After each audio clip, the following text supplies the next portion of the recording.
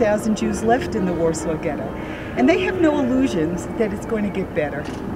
And they decide that if they're going to die anyway, they might as well go down with honor. I always wanted to see Yad Vashem, uh, out of respect to my grandfather who was in the Holocaust and survived and escaped from a camp. And see, seeing that and kind of dealing with that emotion was amazing. Six million Jews were killed, three million from Poland, a million from Russia, 500,000 from Hungary, 165,000 from Germany. I mean, it just, I'm getting choked up talking about it. Go through the whole Holocaust experience and, and see how our people were murdered and slaughtered so mercilessly, and then to think that the survivors of that were actually able to physically make their way here.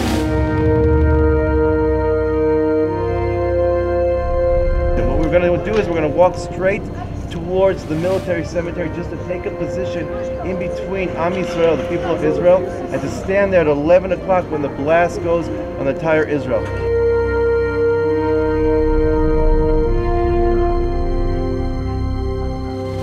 One of the most emotional things I've ever seen personally. To see the family members and I mean if you if there was if you have a dry eye you're, you're not a human being.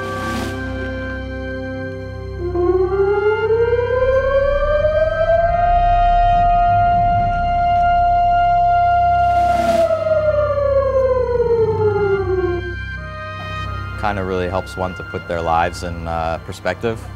I think we take a lot of things for granted, especially living in the United States. Um, we should think more about, you know, some of the people that had to give their lives for us to be able to have what we have and the freedoms that we have.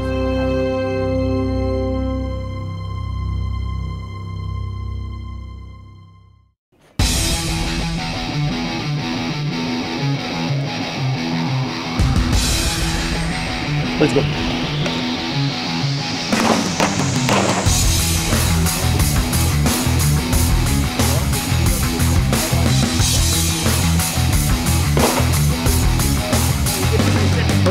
The rules understood, everybody.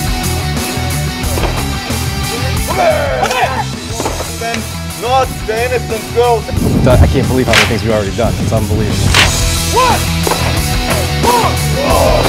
18, 19, 19, 20, 20!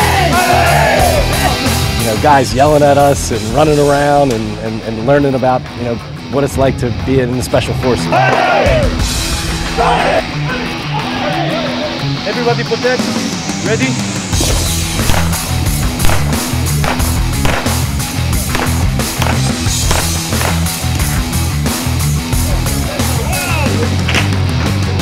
Actually, this is the pure Israeli martial arts, Krav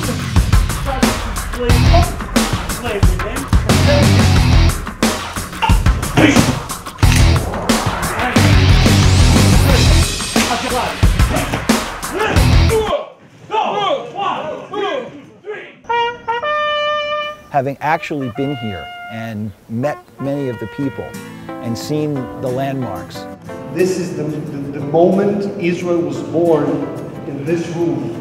how hard they have worked to develop this country, to make a desert green.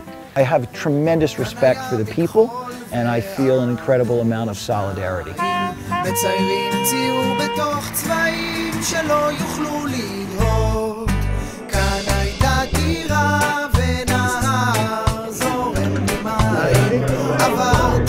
Met so many intelligent, bright kids who are doing really interesting things and, and taking risks and, and starting great businesses. It was really inspiring. I, I met a, a kid who was in his 20s, moved to China to find a business model, lived there for two years, and started a company now that's employing 60 people. And, and the story just goes on and on. It The fact that this is the, the home of the startup company, of high-tech companies, and that it's the leading edge of virtually everything um, is, is absolutely remarkable.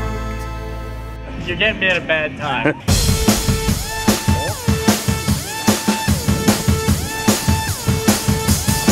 Two hundred fifty pounds and I float. It's you know, it floats. You move around real nice. It's uh, definitely not like anything uh, I've ever experienced before. that was great. I don't want everybody back in Philadelphia being uh, you know envious of this. I got baptized. It was unbelievable.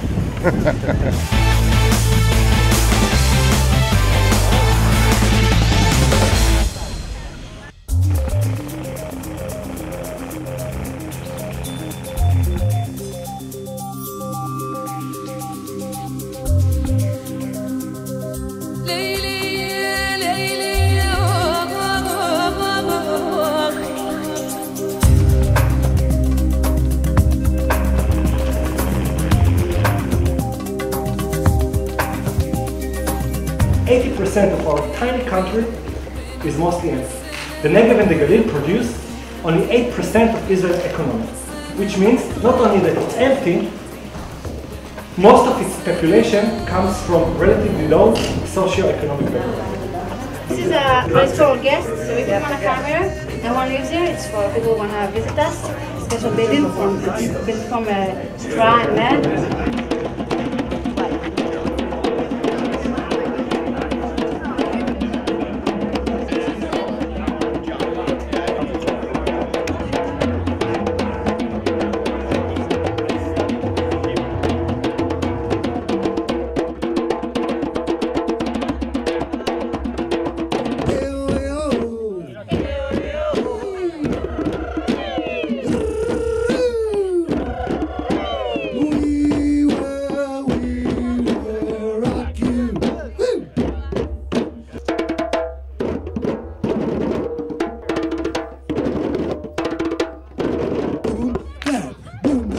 Back,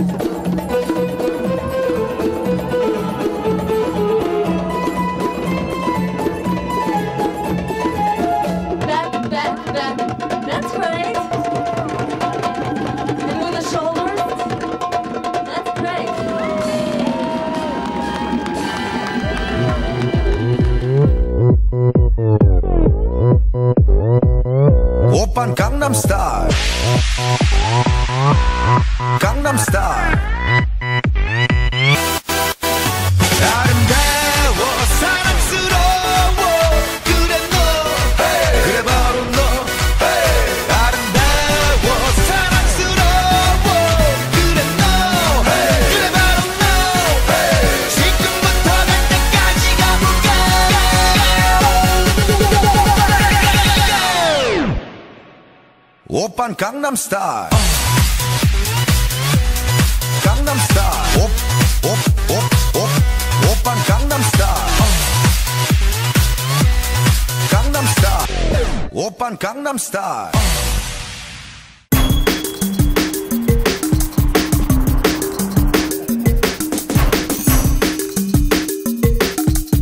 We have uh, about 30,000 students here on our campus.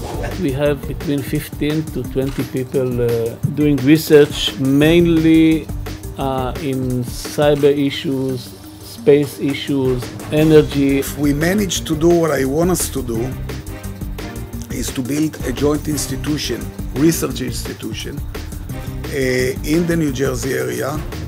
Uh, we are um, five people doing business development in, in remote, cover, covering between us really all uh, fields and laboratories in uh, Tel Aviv University.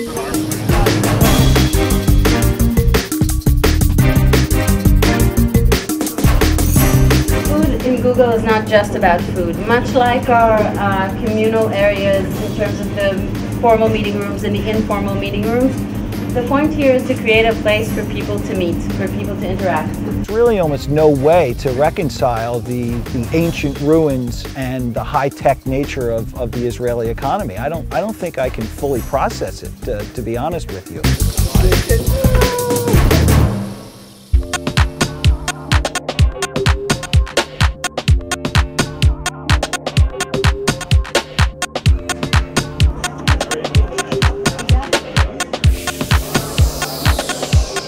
Philadelphia Federation, from my point of view, are friends and partners.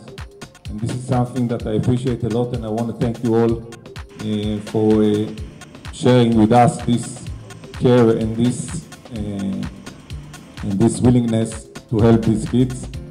Uh, we have many, many more programs and many more needs and uh, we are in touch with your representatives all the time.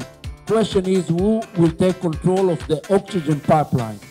And the Russians and the Chinese are very much afraid that the Americans will take control of it. They have already control in Saudi Arabia.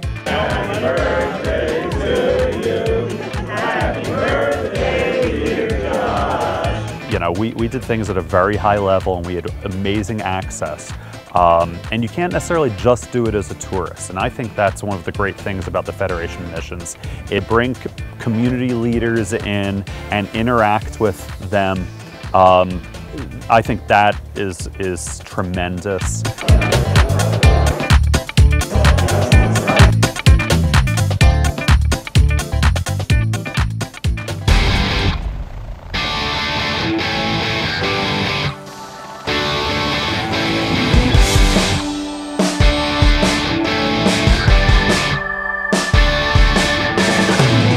Are responsible for the border with Lebanon. Actually, the border is just down here one or 200 meters uh, behind these trees. We have tens of thousands of rockets uh, at this side of the border, all aimed to Israel. Every building that you see here that looks like an agricultural building, it is something that we have to be sure that it is not infrastructure of Hezbollah. And the challenge is how you make a wall here that the enemy shoots to Tel Aviv, to Haifa, to all of our uh, settlements here, many rockets, and they all within the civilians.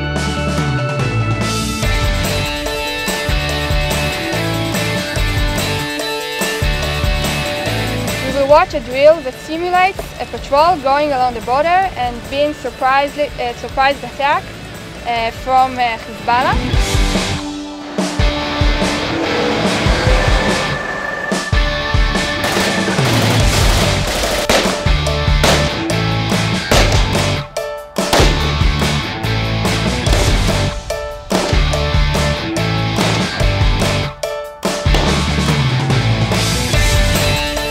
Age and the spirit and the and the uh, commitment that you see from people so young um, is remarkable. This is the point of the abduction.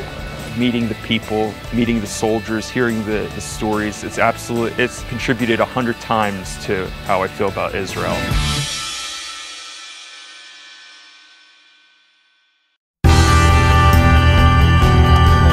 Lebanon is a beautiful country.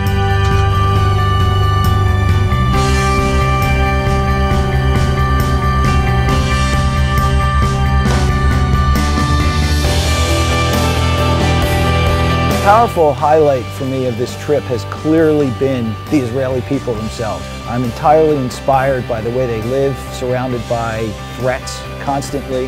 Not only do you not see fear on their faces, you see nothing but joy. Uh, this homeland is almost like a new toy that they'll never get tired of.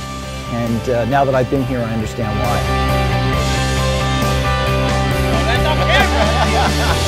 Contributing to Jewish Federation and then seeing what the contributions have created has been amazing. To walk in the footsteps of the forefathers and the foremothers, to see uh, places that I learned about in Hebrew school many, many, many years ago. Um, it's been an absolutely moving experience. So between the yellow and the blue gate, that is the Israeli position. And between uh, the blue gate and the flag of Syrian uh, soldiers over there, that is the DMZ, demilitarized zone. You go home now, pick up the New York Times, and what you read, we just saw it for the last four days. I learned more uh, about the Philadelphia Federation coming 6,000 miles than I did being in Philadelphia about the programs that we help here in Israel. You cannot understand the dynamics of this country um, without seeing, touching, and feeling it. It's, it's a completely different experience and honestly I can't wait to come back again. If I had one word to describe it, it was pride. The pride about being a Jew and being a Jew here in Israel. As a 40 year old, I, I waited too long. A connection to a country that I've only read about and just a, a, a emotion that I've never really experienced before in visiting a place that it feels like home. What I learned about myself was that I have a second home. I hold out great hope that our generation, generations to follow, can absolutely carry the torch in the diaspora for uh, supporting Israel. Knowing that people had a good time is one thing, everyone would have a good time, but knowing that everyone both individually learned something about Federation, learned something about Israel, learned something about themselves, makes me feel good about what we've done.